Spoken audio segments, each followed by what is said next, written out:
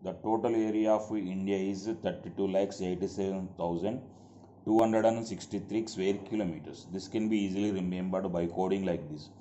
A for 1, B for 2, C for 3, like that, uh, uh, Z for 26.